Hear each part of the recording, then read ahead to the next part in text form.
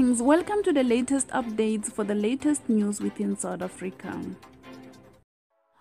Good day. As we know, yesterday it was Mam Mary Twala's sending off and it was also Mohale's uh, birthday. And this is what Somizi did for Mohale after sending his mother off. Somizi had planned a third wedding ceremony in Italy yesterday as part of surprise for his husband's uh, birthday, but due to COVID-19 and funeral of his mother, that ceremony had to be postponed. Honestly, Somizi is such a beautiful uh, human being. He's such a beautiful soul. Even when he's mourning uh, the passing of his mother, he still managed to surprise Mohale for his birthday. He got him something and posted this on uh, Instagram. This is what he said. It's my husband's uh, birthday today and also my mother's farewell. We laid my mother to rest and I didn't know what to do, how to present this. I decided to carry on and got him this, he said in the video, calling it a bittersweet moments.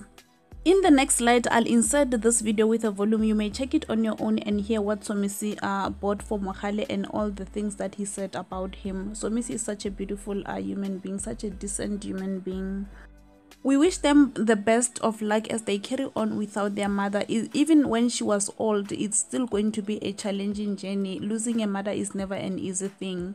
That will be all from me. Thank you so, so much for tuning in. I'll see you again in the next update. In the next video, I'll insert this clip of Somizi with a volume. You may check that on your own. See you next time.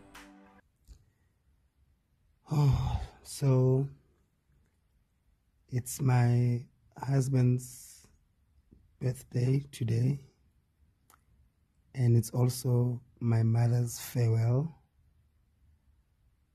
We're laying my mother to rest, and I didn't know what to do, how to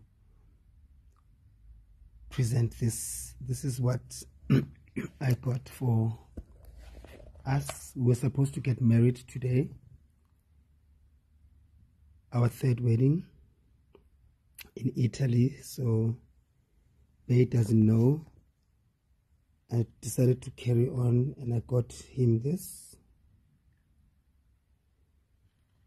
And got myself this. This is gorgeous.